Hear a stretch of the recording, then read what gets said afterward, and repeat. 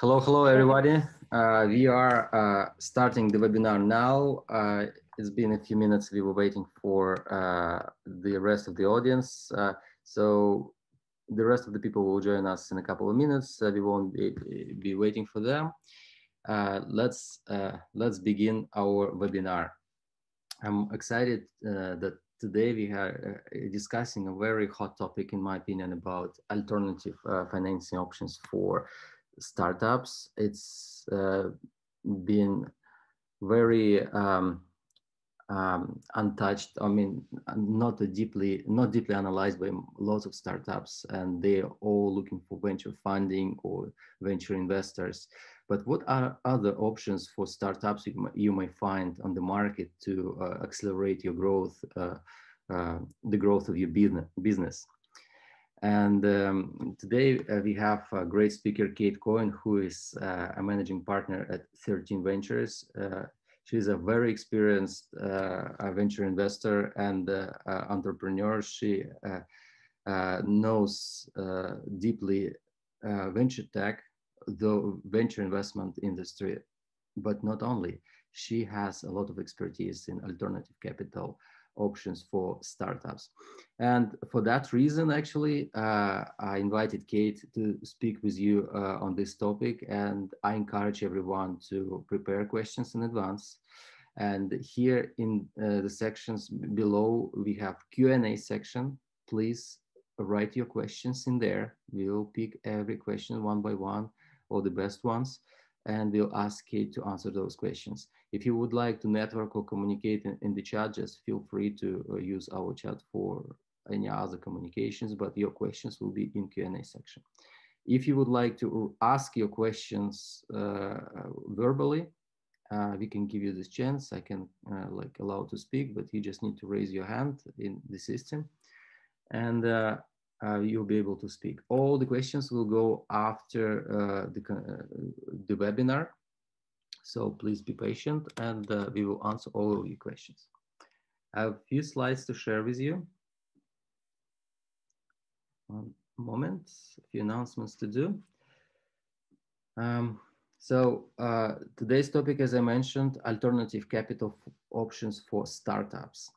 And um, mm, this topic is uh, an important topic for global startups who are trying to raise uh, capital and uh, venture funding is not always available for everybody, right? Uh, in fact, just very small percentage of startups around the world uh, are being financed financed by uh, angel investors or venture capital investors. So definitely not everybody gonna get it, right? Um, this event is under Go Global World community and those who uh, just first time in our community, I'll, I'll remind our mission and uh, the reason we exist and what's your role in here. So this is a free community for entrepreneurs by entrepreneurs who speak English and would like to go global. It's a uh, free community, but uh, we have expectations from you guys. Uh, you need to be active on the community chats and proactively help each other, not waiting for anybody just to ask you directly. So if you see a question, act and help. This is uh, how we um, uh, build our global network, our reputation uh, in front of each other, and of course, help each other to access different markets. Um, this is our team uh, around the world. Uh, we have about 40 people in 30 countries, and uh, this is where we can help through our team to access those markets. Uh, some at some places we are like deeply involved in in the market, somewhere less uh, involved, but we all are very much committed to help you enter all those markets. But it's not limited with that. We have about 1,500 uh, members on the community, founders from different countries that means you already have global access uh, to um, most of the countries uh, around the world. And uh, the more entrepreneurs you bring to our network, the stronger our network will be. So all those people are willing to help and it's all at no cost. But it's not limited with that. Uh, we recently have built uh, Telegram bots uh, for you to connect and build your international network out of our community. So Once you register on this Telegram bot, uh, it's very simple.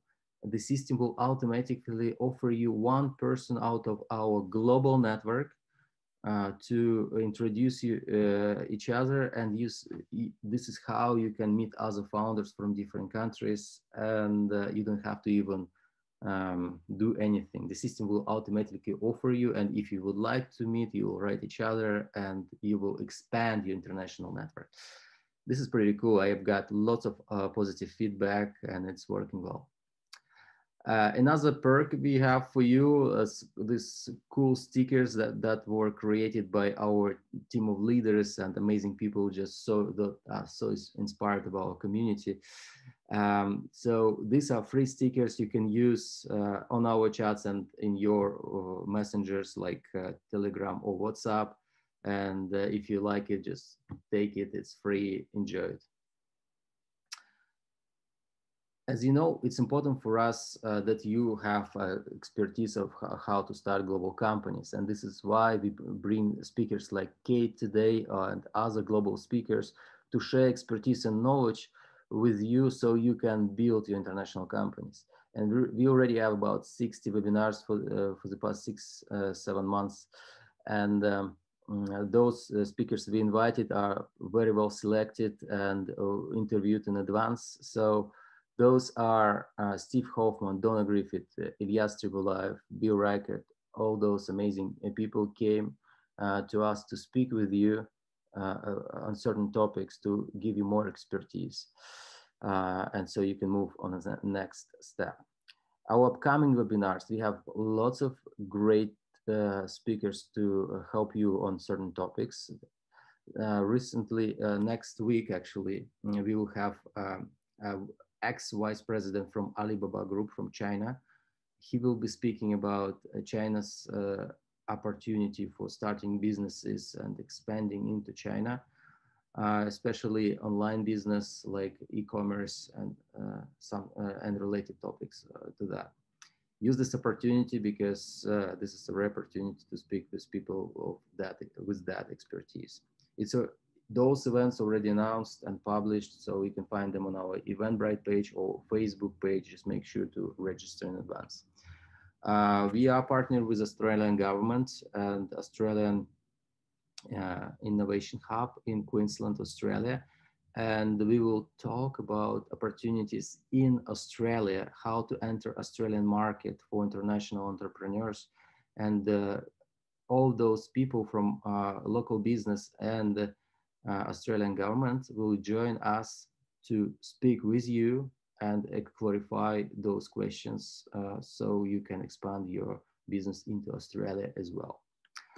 Uh, there will be a, a, webinar in Russian for Russian speaking audience, how to enter international markets if you started in Russia or CIS region. So the CEO of Capacity, who has a company in San Francisco, will share his story and you can uh, discuss uh, with him your story so entrepreneur to entrepreneur can help and expand, right? Uh, there is another awesome webinar that is about to be, uh, that will be in December or in Russian. I also plan to do this in English with one of the top managers of uh, Techno, uh, Mos Moscow School of Management, Skolkovo. Uh, he used to be a top manager in there, but uh, Max Feldman, He's a very experienced in terms of building network, business network, and he will be sharing with you how to build this net, uh, your business network uh, locally, globally for your business, for your uh, personal life, and so on. It's amazing uh, speaker, so make sure to not to miss this uh, webinar. Uh, the the one in English will be announced later every uh, month we have monthly founders meetups. There, there is one in Russian that will be the, the, last Friday of uh, November, and also there will be the last Friday of December. So me, make sure if you speak Russian, make sure to join this webinar. It's announced on our um, webinar and Facebook page. Those who uh, speak Russian and need support in uh, uh, with their pitch, uh, we have once a month a pitch test event. So you pitch and uh, Sergey and Vyacheslav are giving you feedback. The same one we're going to do uh, in English soon. Uh, follow our announce announcements. And um, um, uh, we do have monthly meetups for for global founders around the world. Every first Friday of the month, we have a webinar in English for founders from different countries. Uh, recently, we had founders from South Africa, US, Canada, Nepal, France, Russia, Singapore. So it's like crazy. It's a really global network, and uh, people, entrepreneurs, are just after five minutes they find common ground and starting helping each other. And the other event, uh, I don't have a slide here yet, but I will have soon a slide. We are launching an initiative with 500 startups, and we're gonna do a series of webinars with 500 startups alumni, and they will be sharing their expertise on how they started their company and managed to uh, grow them so successfully. And you'll be able to ask their questions and maybe have some discussion. Um, if you like our webinars, if you'd like to join, just very simple, uh, find us on Facebook uh, uh, uh, and on Facebook, Go Global World. And there you can find section events and you can register or just follow this QR code uh, on Eventbrite uh, and you'll see our events or, or in Eventbrite, you just can find Go Global World. And that's it. Our partners, uh, we have lots of amazing partners from around the world. In Russia, we have Technopark Skolkovo, Access Innovations in Israel, RusBase in Russia, MindHive in Australia, Moscow School of Management Skolkovo, uh, High School of Economics in Russia, IB Consultant in the United States, IT Park in Uzbekistan, Adventureland in Russia, Collaborativa in Mexico, Expert Dojo in Los Angeles, Startup News in India, youth entrepreneurship in Uzbekistan, and Embry-Riddle Aeronautical University in Florida, and many more. Those organizations are committed to help you to, uh, to enter their markets. So you, if you need any support from them, you can just go on our website and find their uh, uh, contacts in there. Just follow their the link to their website, and you'll be able to connect with them, or we can introduce you directly if you need to.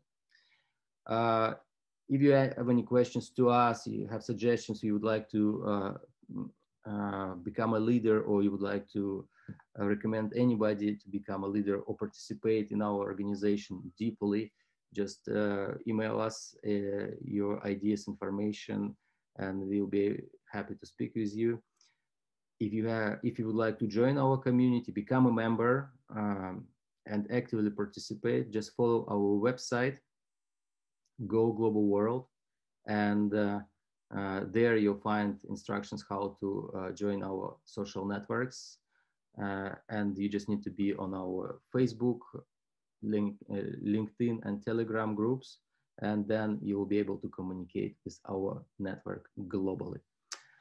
On this note, I have finished uh, my part and I'm passing the word to Kate Kohen. Uh, Kate, hi, how are you? Hi, Daniel. Thanks for thanks for such impressive presentation on everything that you guys are doing.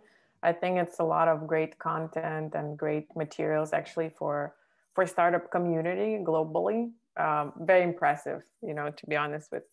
Uh, Thank you very much. Yeah, we are, we are, we are doing our best. Uh, we have amazing people supporting us globally. So yeah, I appreciate it. Well, it's super important to find like like-minded people who are eager to do, you know, to jump into the same vision and help you build and scale. On that note, so thanks for having me. Uh, I'm happy to share with you guys some wisdom related to alternative capital and actually what other options are there on the market for startups, for growth, growth stage startups. What are the options for you to, to grow, not the traditional way, uh, way just to tap into uh, and scout for VC money. Um, let me share like a small presentation that I prepped for you guys. Um, can you see the screen? All good? Yeah. So I guess like uh, before I jump into this, a quick uh, intro about myself. In the past, oh my god, about five six years, I've been investing um, as a in the venture space and early stage um, companies. Let me move you. Hold on. Second. Early stage companies across different verticals within startup ventures, uh, which we build an accelerator here in New York City. Um, I personally invested in 106 companies, got four exits, um, and lived through the whole cycle uh, of investing, helping companies grow, uh, grow, and help them get to exit and uh, see their returns of their ventures. Prior to that, I built my own startup, which I did sell in 2015. That actually brought me to the dark side of the world, as I call it, venture capital. Um, in parallel, I started investing as an angel investor into actually consumer companies, US based. Uh, within Starter, just to go back, within Starter, we've been investing in immigrant founders. We have uh, lots of Russian, European, Latin America, all over the world kind of founders that we um, invested and helped them grow, expand to US market. But again, as an angel, I've been focusing purely on US companies um, and consumer. So I have lots of passion to consumer sector, uh, just because that's something that affects us, the regular humans on day to day, and you can see the impact right away. Um, and as I invested as an angel in consumer companies, I saw a clear need um, for this type of companies in terms of uh, variety of capital, because traditional venture capital, um, you know, and giving up equity to grow your company and pump into marketing, user acquisition would be too expensive. So I started looking specifically for my portfolio companies, what are the options out there? How can we bring additional capital to help grow, but not use the equity money to fuel that growth? Because it doesn't make sense to give up a portion of your company to finance your marketing and ad campaigns. Um, with that, um, I saw that there are actually not that many players on the market, uh, you know, who's simply financing startups. The banks wouldn't do that of course there are hard money lenders but they would ask like your personal assets and all that. So it would be pretty much the same as you going and taking a bank loan. Why bother putting your company name on it? Um, and there of course there are some funds that would provide venture debt but again they would piggyback on the around that you raised prior to that. So seeing that uh, what's happening on the market you know, I saw an opportunity that this sector of venture debt would be actually growing. And by venture debt, I mean also part of it as the revenue based finance. I saw that the sector will be definitely growing, and I'll explain more within a few slides that I'll be showing. Um, and then basically uh, last year, um, I left as a managing partner, Startup Ventures, and I launched the new strategy within 13 Ventures, uh, which is purely focusing on venture debt, revenue based finance for consumer companies, B2B, B2B, 2 c everything that ends with the, with the consumer at the end. Uh, within that strategy, we raised um, we raised a fund and we started investing. We already have 10 companies in our portfolio. Uh, we validated the model and started pretty much scaling financing um, and providing capital alternative capital to consumer companies um, uh, in the US. So, you know, um, and Daniel, please feel free to interrupt me, ask questions anywhere along, uh, or we can, you know, get any questions from the audience. Uh, but, sure. you know, to ask, um, like, what is what is that venture debt? What is revenue-based finance? What's the difference between the two? Uh, who's a good fit for that? So, um, you know, as I transition from what is 13, why we're doing that, again, there are not that many players who are providing alternative capital. Who is a good uh, fit for revenue based finance? Usually it's subscription companies, online retailers, D2C brands, any SaaS solutions as well um, that have like clear monetization and clear unit economics. Uh, within us, within 13 Ventures, we have two type of products. We're providing growth capital, uh, which is we can provide venture debt, we can provide revenue-based finance, and also we provide working capital. Let's say if a company has any purchase order from a big retailer, let's say if it's a brand who is selling not only online but also selling offline in retail, and let's say they have a big purchase order from Whole Foods or any other guys, uh, and they might not necessarily have all the cash to finance that growth, uh, will provide the capital just for exact purchase order. So within the, like, where do we sit as 13 ventures in the landscape?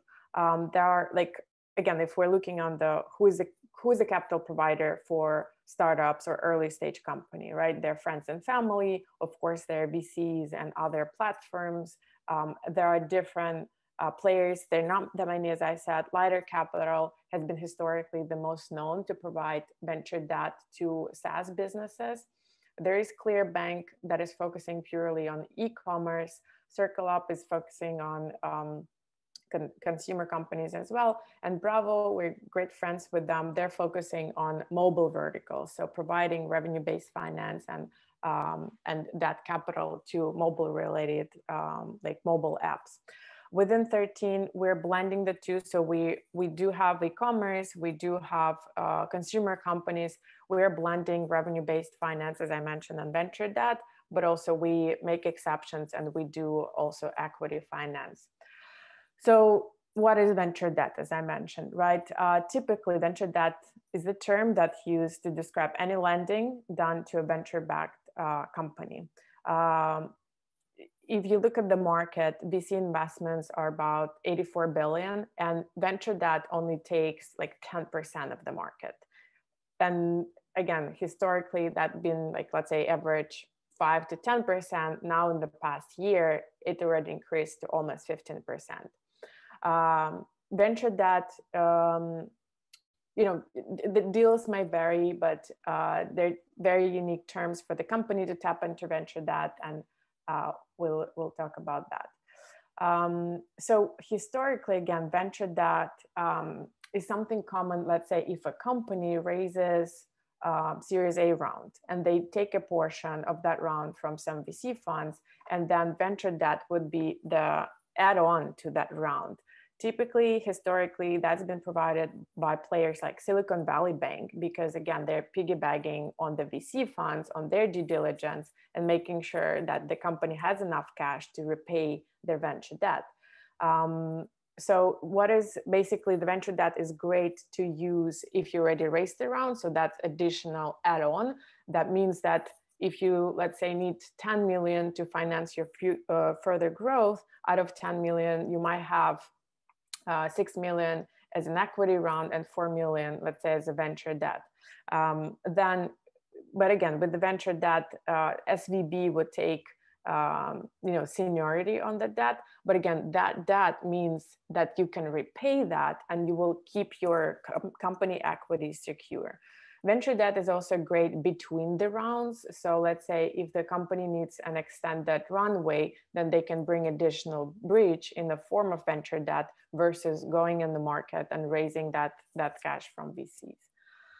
So there are different types of venture debt. And the reason here I wanted to, uh, to visually like diversify the traditional venture lending and revenue based finance because revenue based finance might not necessarily be like add add on to the equity round that could be used between the rounds. Um, so traditional venture lending you know it's debt that typically would be let's say 30% of the round that you're raising. You would repay that back within three four years um, their asset-backed financing is available. I'm sure you guys all know that. Revenue-based finance is a model where you get the money at a multiple, but the way you repay that is quite unique. You pay it with a percentage from your revenue over the course of, let's say, three to five years. So the revenue-based finance gives you a flexibility that you don't have to pay exact like monthly installments, but you if you grow and once you grow you you typically you wouldn't pay more than 10% from your revenue. So you start paying that uh, percentage from your revenue towards uh, that debt. So let's say if you have a hockey stick right then you repay that debt you know in two years. If you have a slower growth it will take you longer but again there are no for the company, it wouldn't be an additional stress to, to have like a certain amount of installments that you have to repay. Um, as I mentioned, uh, types of the venture that we discussed a little bit. There, again, there are so many benefits um, to, let's say, uh, revenue-based finance and venture debt versus the traditional equity. So, um, as I said, there is a multiple, uh, like is multiple you're paying back. The biggest thing is the the um, the the founder doesn't have to give up give up equity, so uh, he keeps the ownership. Um, you don't have to put any collateral, um, and uh, yeah, it's quite flexible. Plus, um, you know, you can't. I mean, for your company finance, that could sit on your that can give you some tax deductions. So there are some perks in that. And I think this slides gives you like an overview of like revenue-based finance, venture debt, and venture capital. Uh, again, first, main differentiations, duration, right? Uh, revenue-based finance is flexible. You can start repaying from six to, you know, in the course from six to three years, venture debt three to five years, um, VC capital usually five plus. Um, debt payments percentage, uh, venture debt has fixed interest, uh, equity ownership. With revenue-based finance, you don't have direct ownership, same as venture debt. Venture capital, you do have direct ownership. Um, for the uh, repayments, future monthly revenues, uh, with venture debt, you, the typical like lender would take warrants and take the interest on that, while venture capital would all know.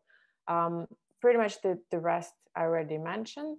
So who are, let's say, um, those type of capital providers on the market? That could be bank, like Silicon Valley Bank type of guys, VC. There are a bunch of different funds out there in US and globally.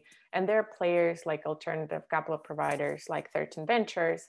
Um, and again, there are different terms. So if, if we'll take a traditional banking um, the challenge in US, and I know in, in Europe that might not be the same challenge, European banks, and also European, they have like lots of grants and banks are a little bit more flexible, but US banks wouldn't typically finance uh, a startup at the growth stage. There are too many risks and the bank just simply wouldn't know how to assess those risks and how to score this type of company. Um, so uh, banking uh, venture capital uh, and alternative guys like us. Within the landscape, um, as I mentioned, there are different players. Uh, all of them have different loan size, they can provide different loans, different uh, terms. I encourage you guys to do additional research on all those players um, and find out their um, terms. And then we can go deeper on examples, but before jumping into that, you know, I'll be happy to actually answer any questions and we can open to Q&A and within that Q&A, uh, I can provide additional light on how would that uh, look like or any typical um, that structure that could be. Uh, Nikita is asking, where uh, do you take, would you take your first money for VC 13? Sorry, say again, what's the the question? He's asking where to take first money uh, for venture capital 13. Uh, it's a kind of strange question. Um, Let me open the question. Where you take your first money. So, uh, great question. Basically, the way we structured, uh, we have different capital providers to us um, as 13 Ventures. So we function as a as a fund right? We have family offices, mostly actually European and US family offices. Um, also, we do have like actually a hedge fund, US hedge fund, who provides us the credit line, but the hedge fund uh, wouldn't work with startups, right? So we act as originator and uh, we leverage that credit line to provide the capital to other startups. That's typically how most of like Lighter Capital, Clearbanc, and other guys similar to us work. They have uh, uh, credit, uh, credit, credit line who simply don't work with the with startups market. And guys like us know how to score, how to like we have the experience working with startups. So we know how to score, we know how to underwrite, and how to assess the deal uh, from that perspective. Another question from that, Nikita: that uh, Which stage, uh, which stage of a startup can can you hear me, Kate? Hello. Mm -hmm. All right. again, yeah, yeah, asking uh, which stage of startups can find partners or investment faster on global market. Can you give some examples for best way for capitalization and for sales? Which stage of startups? Um, well, look, um, so let's say if you are, let me bring into different stages. Let's say if you're early stage startup and you're finding your go-to market strategy on like let's say in us or any other market most of the work it's better to do like either yourself right? You do lots of reach outs ad campaigns and test drive. You can leverage partners local partners who know the market really well and can you can help you do that. Um, in fact you know we've been helping a lot of european companies to scale in us just because we have that experience. However, let's say if you're a startup um, at the early growth stage, you already have the revenue. Uh, let's say you are based in Europe, you already have the revenue in Europe. Um, it might be easier, but also could be challenging for you to enter the new market because you might think that the same model might work in US, but in reality, it might not work at all, right? So you still need to do that validation. You still need to test the market. However, if you have the revenue yourself, you do have some cash to test drive that, that's a little bit of a different story. So let's say from investor perspective, if you are based outside of US and you still want to tap into you know US market and you need to raise for that uh, for that expansion, most of let's say us funds wouldn't finance it because you still need to show them traction. You know you need to show them some validation most of the cases it's easier to actually go to your local community and local funds to raise from them uh, for that expansion right? Because for them it will be additional value. Um, that would be i think my advice. I'm not sure if that was exactly the question uh, on okay. the on the finding the the partners and investors. Daniel what do you think about that question? I think it's a good question. I, I mean um, fair answer but uh, nikita if you want uh, some clarification just write down additional questions uh, no problem we can uh, give you uh, additional uh, clarifications next question and we can move on um, from keith newman he's mm -hmm. asking um, how long has 13 Ventures uh, been around? Typical check size, number of deals you make per year? Yep, great question. So we started this strategy last year um, in August. Um, we typically have the check somewhere from 250 to 1 million.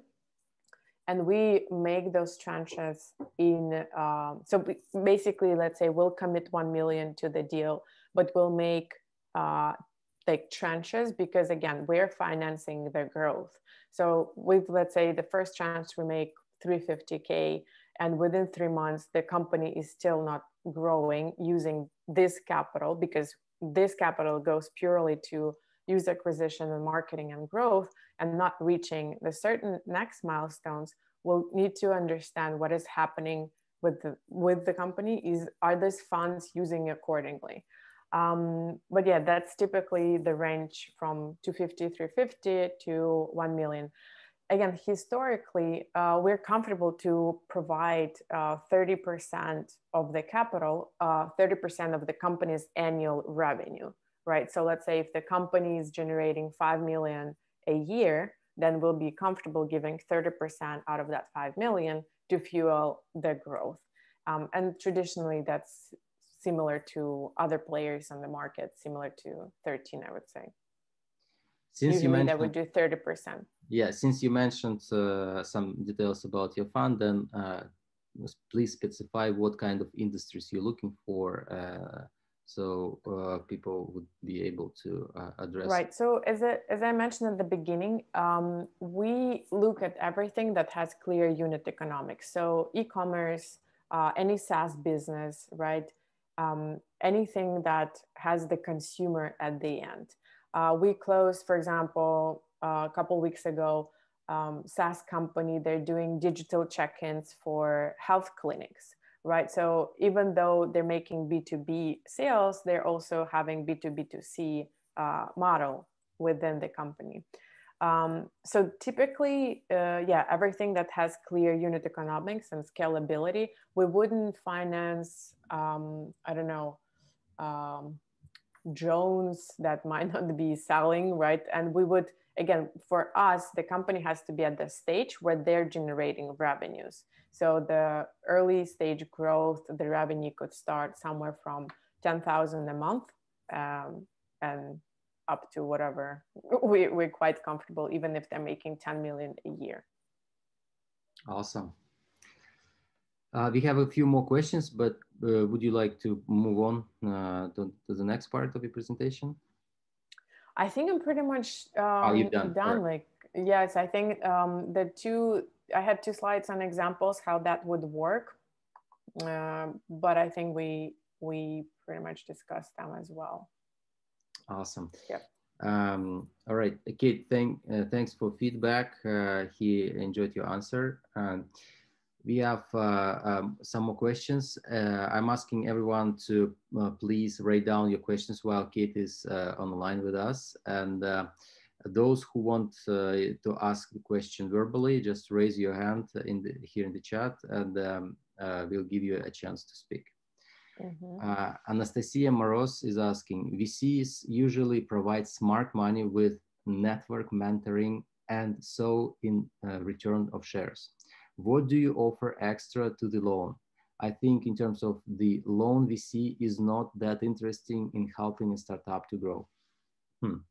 Well, it's interesting. You know, um, the interesting part is you as the founder um, really need to assess um, what do you want out of building your company and like how would that success look like i don't know eight years later and that exit look like right so if you have a vc investing in your company that's additional boss that you have on your cap table who will tell you where you should be in eight years regardless whether you want to be there or not that extra boss will be on your board and will tell you, look, um, hold on, what was the name? Uh, Anastasia, no, Maria, I forgot the name who the lady who asked Anastasia. the question, right? Like, nice, Anastasia, you need to, we need exit. Like, you, we need to make multiple on our cash, right? And Anastasia said, well, guys,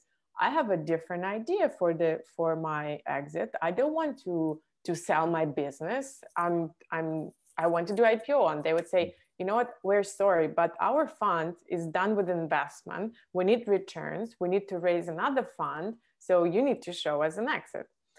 But with that said, like any founder should think on on how would like what would the health look like for their cap table? How would that success look like for their company? If you're saying that you're bringing the VC money to fuel that your growth, so you're saying you using that cash to acquire users and pump and test your advertising, then you are giving up a portion of your equity for that test drive, which at the end of the day would be very expensive, especially eight years later. But if you're coming to, let's say, other capital providers, they're not going to sit your sit on your uh, cap table. They have different returns and different motivations. For them, it's okay to have you know interest repayment they already see that you're quiet users you have some revenue you prove the model and they know that with the additional cash you can you know you pump that cash into more advertising and user acquisition and marketing and you pump your revenue to i don't know you double you triple but you can also repay higher multiple on, on that money provided you know most uh, i would i would be honest like most of the capital providers alternative capital providers they wouldn't give you additional value or additional help that the vcs would give. Of course like if you bring vcs they bring you network they help you with additional perks. Mo- most of alternative capital providers wouldn't do that. We have within us we have um, additional perks and value that we do give uh, we built our own technology, which is called VentureBox. So we assess all the company vitals, um, like all their Shopify accounts, banking, all their revenue streams, and we provide additional data insights. Um, and basically, there are not that many, I would say, there are no tools out there for the founders that will help them assess their financial health from revenue perspective and you know profits and returns with the analytics that we provide to the company. So that's the value we do give. Um, again, we do also provide more financial advisory, uh, but we're not providing that to every company. Most of the portfolio companies, we do give that. Awesome. Um, there is a question from Parmit. Uh, would you be in, uh, interested investing in Middle East, Dubai startups? I wish not yet. Um, again, as long as maybe the company is incorporated in US, uh, yes. Um, we we didn't have any deals from Middle East yet. Uh, we had a bunch of European deals that they have. Um, actually, one of the deals we're closing right now. They're based in Spain. All their R and D is in Spain. However, they have US uh, holding company uh, where Spanish is a subsidiary, and the main revenue goes through the US uh, entity. We are only working with um, uh, US jurisdiction right now. Uh, hopefully, we'll expand to new market next year. You never know. Right. Um, so, uh, in terms of basic uh, uh, um, things for startups, when most of the investors invest, like, correct me if I'm wrong, they uh, they need to be uh, um, structured in um, Delaware, uh, wherever they are, and they also need to have their IPs. What else they need to have? So it's like to meet basic requirements, so they get interested with by, by US investors again it depends which market you target most of us investors for them of course like delaware um, delaware setup is the crucial one uh, but if you're targeting your own market investors, they don't really care. So um, Delaware setup. What else? If you have quite transparency how you structure it, if you have other, let's say your R and D in Europe or Middle East, as long as it's clearly legally structured, that's not a problem as well. Yeah, and in terms of traction, uh, uh, if you have traction outside the United States, is it uh, is it a big deal uh, for investors that, that, they don't have revenue in the United States? Um, I think it is because again, you you need to show that revenue stream. Again, if you're targeting alternative capital providers, right? Because they also need to show your like you need to see historicals, right? So you'll pull all your historical numbers and revenues from the past 18 months. Um, it would be harder to assess outside of US um, you know transactions so alternative capital providers if they're in us and they're investing only in us entities for them that would be important if that's vc money that could be flexible uh, depending on the fund uh, but again from my experience most of vc funds they're still like okay show me the same traction in us whatever you did mm-hmm. in your own market you know forget about it we don't even count that um, that's from my experience. Daniel, I know you also had lots of companies that went through you. Any thoughts on that? Yeah, I think uh, we have good examples uh, in uh, Belarus and uh, in Israel. So those mm-hmm. countries are like focusing right uh, right away on the global market, and so they don't really look for opportunities in their local market in terms of expanding their solution and uh, that helps them to actually build the product uh, and have traction in, in the United States and later on they have also traction in their local country. But this is how they get uh, uh noticed by top VCs, uh, top funds and accelerate their growth fast. Uh, I think one of the, in my opinion, crucial, most important steps are to be incorporated in the United States in terms of if you want to get uh, funding from US investors, you gotta get uh, IP, uh, move your IPs into your US entity and you got to get uh, traction uh, in the states. So those like fundamental things have to be there. And of course you got to build relationship uh, in advance with investors. They don't really want to speak with i mean they know it's, it's hard to get them uh, excited about you about your company right away. You got to build relationships. So it just takes times take time. What do you think about that yeah, 100% agree. Hmm. I also started reading additional questions, great questions. Yeah. So there is an anonymous question uh, from uh, uh, from uh, uh, our, our member. Uh, what are the options for a pre-revenue company who needs to raise capital to build the MVP when there is a significant cost involved? That's actually a very popular question. Yeah, great question. I think three answers one of course friends three f's right? The the friends family uh, and and fools. The second one would be uh, most likely angels you know, angel investors uh, within your community who have certain passion for what you're building. Um, that could be again angels you know they might not be professional angels or so professional or not professional angels that's a different category um, the third would be actually lots of accelerators and also like uh, you know other hubs incubators that do provide the pre-seed money to help you to help you build the mvp i mean there are even some studios that um, help you build the product just for equity right? So that's an option as well. Once you figure out that early stage um, i mean pre-seed get the money build your product you have a different stage that now you need to actually gain traction for what you built um, that's another challenge.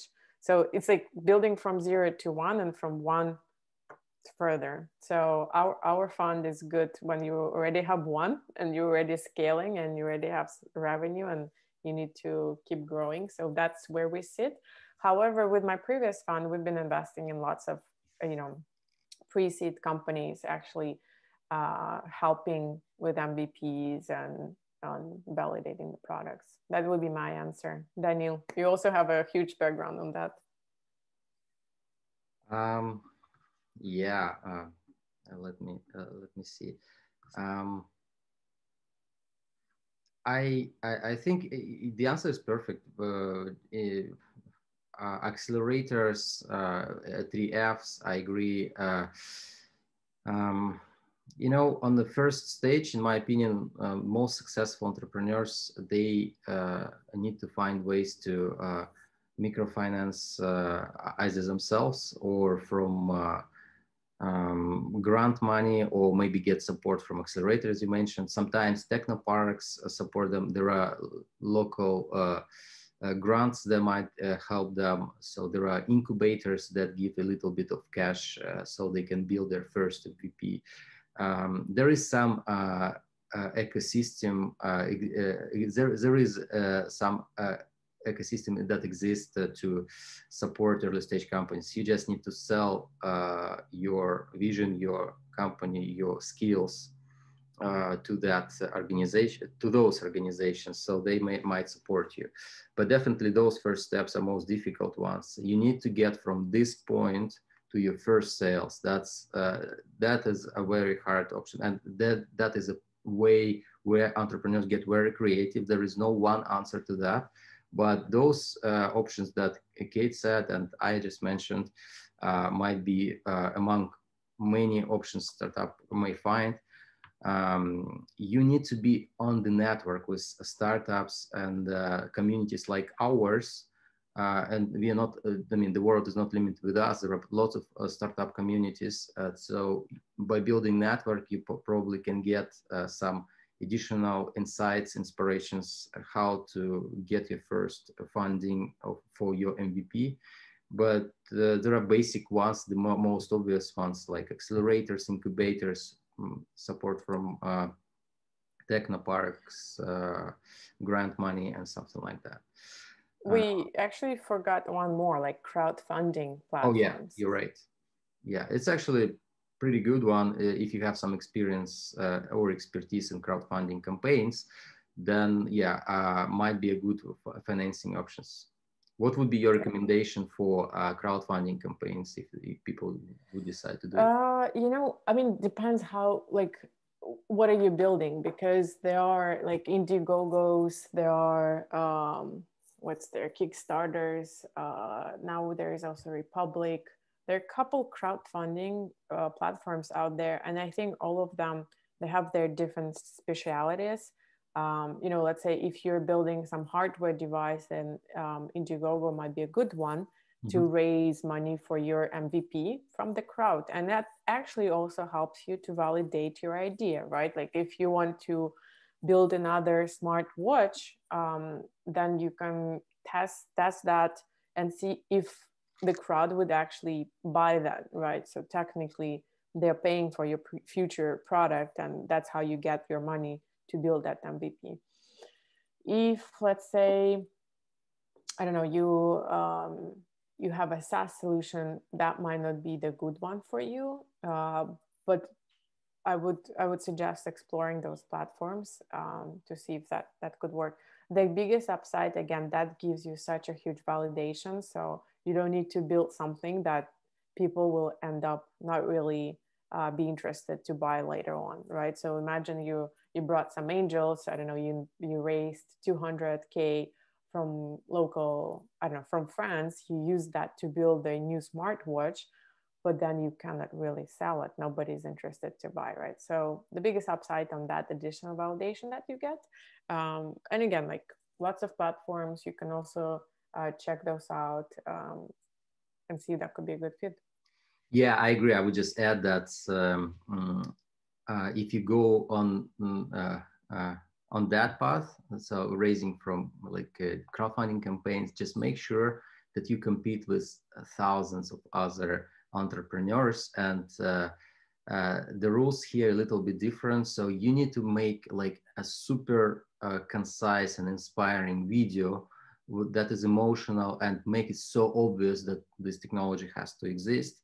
Then it will actually accelerate your funding sometimes there are excellent solutions, but they make crappy video. And this is about uh, these crowdfunding campaign uh, campaigns are about impression.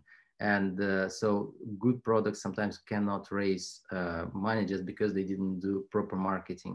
And this is all about how you present yourself and how you demonstrate your solution on the video. And sometimes uh, there are just crazy funding campaigns like uh, a guy I know uh, raised two hundred thousand dollars for just T-shirts. You know, like he sprayed T-shirts with some like he called technology, and people like. But he made amazing video about that, mm-hmm. and people loved it, and they invested in that. I mean, but it's just it's so crazy. just a video part is super important. Uh, yeah, I think. Yeah, go go ahead. Those crowdfundings is all about marketing. You're right. It's like you know and you need to keep in mind that you need to invest in that marketing before you can actually raise anything yeah and i spoke with some experts from crowdfunding if uh, we just finish this part of the topic. Uh, they say like don't hesitate to invest in video. If you're outside us you probably might need to invest about a thousand bucks. If you're in the us a good uh, uh, good video editing uh, com uh, companies would be budgeting is about 10k so you would have to still invest i agree with kate. And what are, what are your thoughts about um, um, grant money like uh, those kind of things you know sometimes different organization or even yeah. people uh, are giving uh, for some cause uh, or some support from the government even those grant money I think that's great to take that. but the thing is, we don't have that many grants in US, as you know. Yeah. Um, I feel like um, European startups have that luxury of European grants, and that's quite, from what I see, quite realistic to get. Um, and again, the, the ecosystem, startup ecosystem, is not that well developed elsewhere. So they're not they're there are not that many grants happening in Latin America, um, Ukraine, Belarus, Russia. Not really. I mean, there there are some organizations. Bortnica, if we talk about Russia, Fond Bortnica, the founder of Bortniks. Do they still give grants? Um, as far as I'm aware, I'm not sure. Uh, I remember they used to like, but again, I'm, um, you know, I don't know what's the caveat of of those grants. I think then you have lots of also. There's a downside then, right? Like, it has to be certain jurisdiction. Then you're sort of also limited. How can you grow on other markets? And if you need like a U.S. entity, how would that work with um, with that governmental entity that gave you grants? Now, I know specific cases with the European startups, like there are French grants and uh, some other uh, European Union companies, they don't have those limitations and restrictions. Let's say if you're expanding to US, but that might not be, again, that, that, that might not be the case for other government, if it's a government grant, right? If it's some other nonprofit, sure, there might be more flexibility.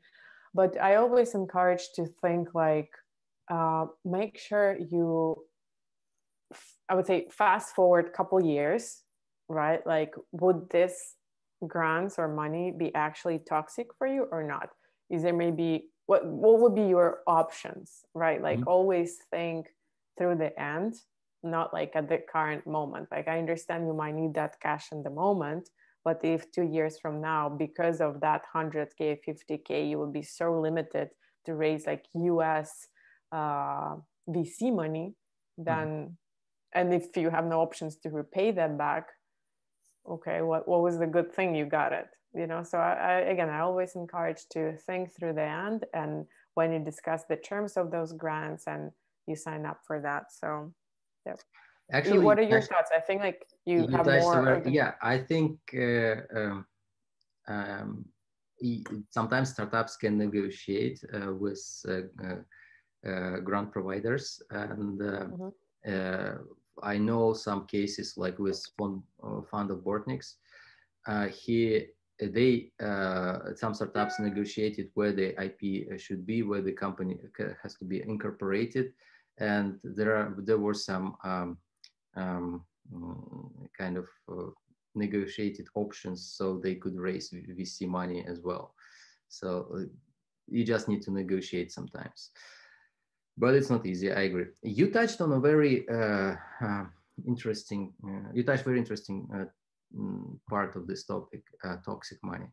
Can you elaborate what is it and um, what are the examples, without going into politics, just and why they are considered top, toxic and what can what harm can what that can do to startups? You know, a toxic money might not be also relevant to government grants. It could be uh, related to, uh, you know, some, let's say, private investors that you took the money early on. And again, it was very important that I mentioned are those investors professional or not professional investors, right? Because if you're coming to a wealthy individual who made much, lots of his money or the wealth I don't know, on real estate, he has certain understanding on what kind of um, on what kind of the returns he's expecting. And is in his view of the world, a startup is this kind of like um, a unicorn. Any startup would be associated with the unicorn. That would mean that he will make billions, millions, and super fast. Well, unfortunately, the reality that doesn't happen super fast. So let's say in his imagination, two years from the, the moment that he gave you money, he thought you're going to be a billionaire unicorn, IPO on uh, NASDAQ, and uh, you are still pivoting and you're still trying to find your go to market strategy. Well, then there might be frustration from his side. And the toxic part would be like coming to you and saying, hey daniel where is my cash? Right? And he you would be like what do you mean where's your cash? Your cash is the is this is the equity. I'm building the company. Uh it takes time. Right? And he has different expectations. I had cases where founders actually lost their companies because they had quite um, you know i wouldn't say toxic but investors who had different expectations right and those relationships didn't end up anywhere good. Um, and that's it. The company just had to close, and and nothing happened. So again, there like I wouldn't necessarily also call like governmental. Uh, you know, there's so many, and of course, you as a founder, you cannot project all kinds of different scenarios. Sometimes you just don't know what might end up being not the great thing that ever happened. Um, that's that's my take on the toxic. What that's are your thoughts? Yeah, I mean, good perspective. Very interesting answer. Um, uh, we have two questions that uh, people would like to ask verbally from Parmit and from Tara Campes, and uh, some more questions in Q&A. Uh, let, let's give a word to Parmit. Uh, Parmit, uh, please, please speak. Turn on your microphone. Hello, can you hear us? Parmit? You can ask your question. Hi, uh, sorry, I think I made it by mistake. I asked my question earlier already. All right. was regarding the investment in Middle East. Thank you very much. Ah, great. All right. Great. Tara, uh, it, you now can speak. Just a second. Zoom lets me do it. That's right. I would be curious to hear. Uh, there are companies, there are now angel investors and uh, uh VCs who are investing in, uh, but we, we don't have any option of venture debt. So that was something new for me, and uh, that's the reason I wanted to know more about it. Great. No, that's interesting. Maybe maybe we should talk because I don't know the local landscape, so would be happy to explore further to bring that strategy to the market. Uh, all right, Tara, just uh, don't want to raise uh, your, uh, Tara, if you want to speak, uh, just raise your hand again because I don't see your hand, uh, so probably you don't want to ask your question. Anyways, we have another question in Q&A section. And if you guys want to speak verbally, ask a question verbally, just raise your hand. We'll give you an opportunity to ask it your question verbally. Uh, from uh, Alexander Kalinikov, what are typical conditions on convert convertible notes? And from me, can you please compare uh, convertible notes with SAFE and from the other organizations like 500 startups? So, sure. Um, so convertible notes, it's it's pretty much a form of debt that the company will take will take the only difference is that convertible note, um, it has the, I would say, not the philosophy, but more of the um, uh, historically the nature of and the goal of this convertible note to be converted at the round as the company raise raise the round, right? So let's say if you need some bridge money, you'll take convertible note from investors. You cap certain parameters, um, and that's related to the question what are the typical conditions in the convertible note? So you cap ter- certain um, parameters and you negotiate in that convertible note, given that you will be raising the round, and this convertible note will convert in the round and will basically convert into an equity uh, for this investor.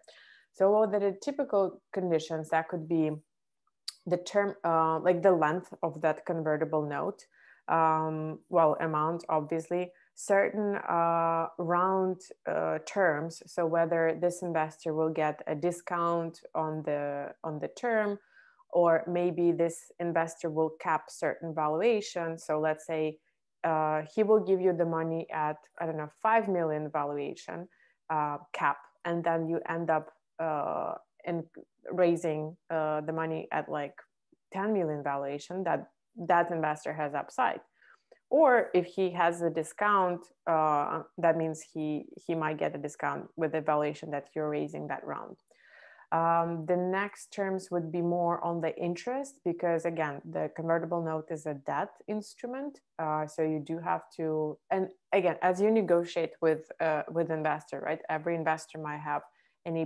preferable terms uh, we do convertible notes as well. However, we structure them very differently. So um, let's say you might have to pay the interest on the convertible note um, could vary somewhere from three to seven percent a year. Um, that's again how you negotiate. So now there is second type of convertible notes, those notes that are, uh, you know, that have additional triggers or additional terms. So when we at 13 we do uh, we do structure convertible notes. However, since like our philosophy was like, look, we want to make sure uh, that the founders are motivated to raise additional capital, bring the capital to company to grow further, right? So it's not just you take the convertible note that has no expiration or that has no triggers. That let's say if you plan to raise uh, Series A in 18 months, but you're sitting and actually not raising anything, nothing will happen to convertible note. It wouldn't even convert because there's no round. So the way we structure our convertible notes is let's say if 18 months from now, once we give you the money, you're actually not raising the, the next round, you have to repay and the repayment structure for this convertible note. That also motivates the founders like and and more like having there are two things, right? It does additional motivation to the founders to make sure that they raise the uh, the, the, the round that they planned, uh, but also for the investors, we don't want to have this zombies who have the notes and these notes are not converting and nothing is happening, and your capital like also is not generating any returns for the investors. Because for investor to get let's say 3% a year on the money he's giving to within the convertible note that's not an interesting you know uh, interest. You you might just better you know, put in capital markets. Um, but so for us uh, the additional terms with structure like let's say repayment or certain triggers if things don't happen um, and that gives some kind of like discipline for the founders to not just sit on like bunch of convertible notes. I don't know you can keep bringing convertible notes um, and then not not growing accordingly. Um, with that said, what is the difference between safe? And well, I'm not a big. Huh? Safe and Kiss. Uh, Kiss is by 500, 500 startups. If you're aware of it, if you're not, that's fine. Yes, um, I am. Um, I'm not a big fan, to be honest, of both of them. Um, I have uh, very unique cases where uh, upon exit, you know, the company had a bunch of keys and safes. Uh, and you know, it didn't it didn't really it, it, didn't convert in the right way for the cap table. Uh, and there was like lots of um, there, there's still lots of arguments in the market how investors or how VCs sees uh, those as like securities or not. Um, like there's a lot to go into detail differences. I think like I'm not a, a lawyer to provide those details, uh, but you know those to be honest those could be great for for uh, startups for founders because you're getting um, cash and uh, there are not that many terms associated with that right? Especially with i don't know safe you don't have to pay interest you know there are no fixed terms so as a founder, that could be a great solution. For investors, not so much. But there are certain clauses on those safes that might bite you on actually the rounds when you convert. So just be careful on the certain legal scenarios, how that would play out uh, later. But Daniel, what are your thoughts on, on those three? Um, uh, I think it depends on investors from who you're trying to raise. Uh, you, you, need to be mm-hmm. prepared to, to be to go with uh, a convertible note or safe keys. Uh, just safe or keys, they are uh, easier for startup. It's easier to negotiate, and it's actually in terms of uh, you know sales sales wise closing around. it's it's much faster. So when the investor is yep. like interested, like let's say on the hook. It's, it's just very easy to sign. Just uh, i mean two fields to fill in sign and then you can use it to get your money uh, on your bank account. Uh, it's it's important as well because i mean there are some emotional part into this as well uh, when people cool down and um, early stage investors might not be interested as interested uh, later on it helps to close the deal faster. But with convertible note, it's it's a little bit more negotiations, uh, though it it is more structured uh, document. So yeah, I more terms involved. Yeah, you're not really have, put you. Yeah, it's great to have yeah. more uh, more tools uh, for entrepreneurs, and sometimes those one type of tools uh, work uh, for them, sometimes the other. But these are the options. I'd I'd prefer uh, as an early stage company, I would prefer, prefer to try first safe, but many investors might not be happy with that. Exactly. So, I mean, again, for the founder, that could be great, but for mm-hmm. investors, like I wouldn't do saves right now. So, yeah, sure. for sure. All right, uh, guys. like I we think... have no no other questions. Um, uh, there was one. Uh, just one second. Yeah, there, there is one last question. Let, us uh, wrap it up with the final question uh, from Nikita. Uh, and it's kind of mm, basic question. Uh, we already answered at some point. So he says they have many projects from talent uh, from like lots of talents from university schools uh, for us market but they don't have sales. For example new agent uh, engine for space rockets or uh, for your uh, uh, fund it, it will be interesting to invest after first sales. I mean of course after first sales would be more interesting right. And, and look guys i think uh, nikit great question. The the thing is i said you need to make sure that you're targeting the right investor. Uh, my fund personally i mean our strategy we only invest in um, companies that have revenues and that have clear growth projection right? Uh, however there are a bunch of other funds accelerators that invest in early stage when you don't have sales yet. Um, they're making a bigger bet uh, and they also want a bigger portion of your company for that bigger bet right? So it uh, just make sure that you're targeting the right type and, and you do the research. Who who are those investors who invest in space space rockets? You know like there's a bunch of them. I'm sure there's a list. You just need to do again the research and not approach like uh, I don't know a, a, fund that only invests in uh, fintech with space startup. You know, you're just wasting your time, unfortunately, right? So just make sure you do the research. You you really scout the right uh, proper verticalized funds, investors, and you approach them uh, with your pitch.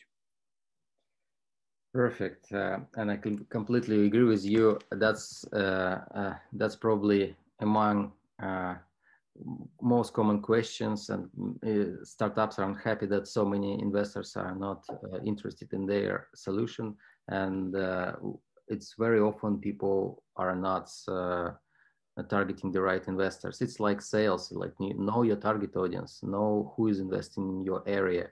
if investors invest in robots un, it's, it's unlikely he will invest in your SaaS solution.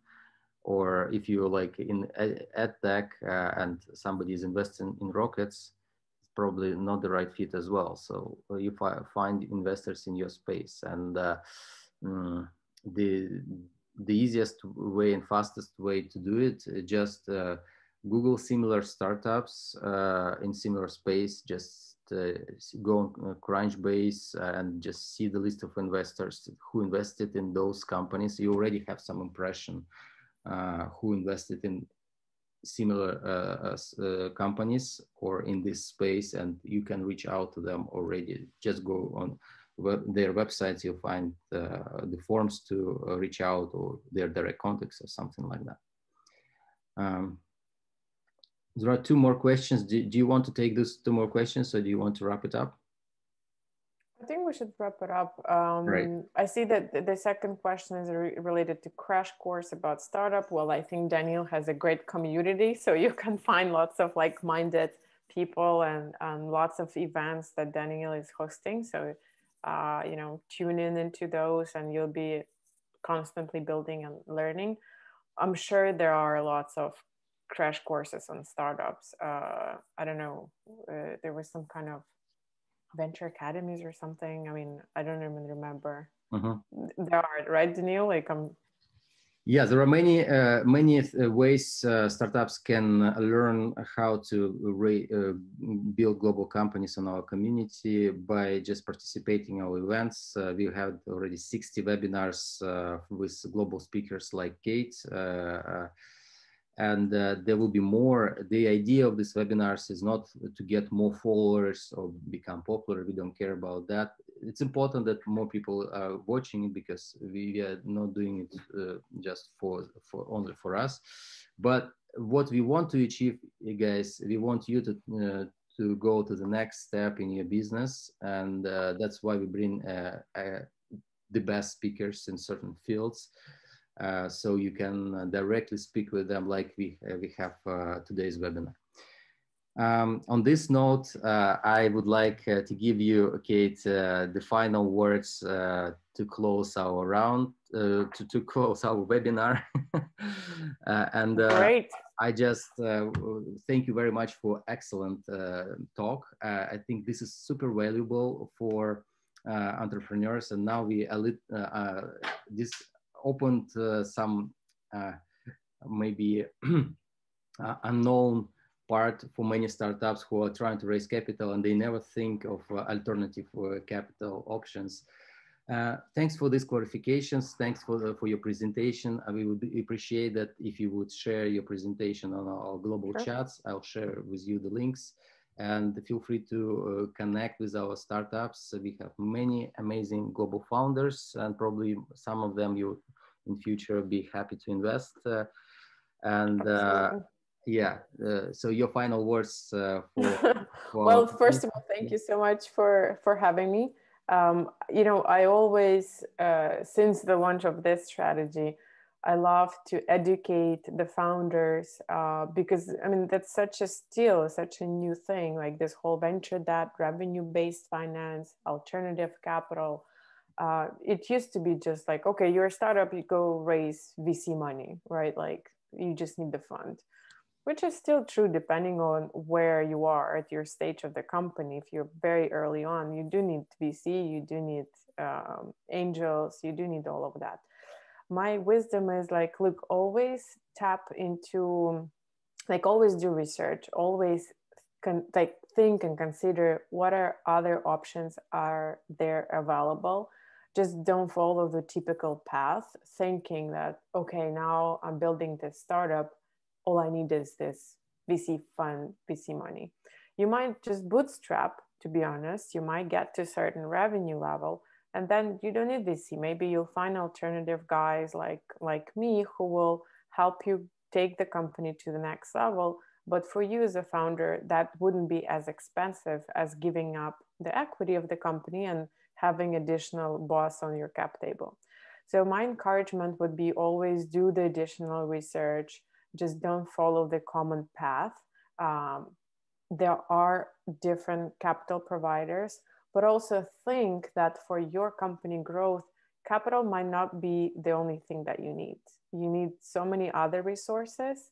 Um, and of course, it's a pure luck that if you have that perfect blend of capital of like a great team and all of the things at the right moment but just be patient think that uh, maybe that capital would not solve all your problems just be wide open like open minded and consider all options not just like capital is the way but what else that you might need. Um, that's my last piece of the encouragement. Um, that's it. Thank you so much for for having me. And if you guys yeah if you have a company at the growth stage if you already figure out like your your uh, you know go to market strategy you started generating revenues you already see the path to uh, to that hockey stick right like feel free to reach out uh, i'll be happy to take a look um, at the company and see if we could be a good fit. If not, I'll be happy to refer to someone else um, in US in the market, or I have a bunch of European connections as well to see who could be the right fit. Uh, please uh, feel free to reach out. Um, that's that's pretty much it.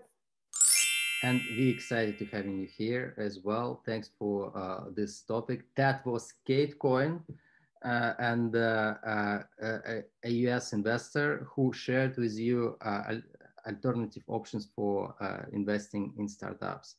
Thank you very much, Kate. You, guys. guys. have a, a great rest of the day. Goodbye. And weekend. Bye. Yeah, and weekend. Yeah.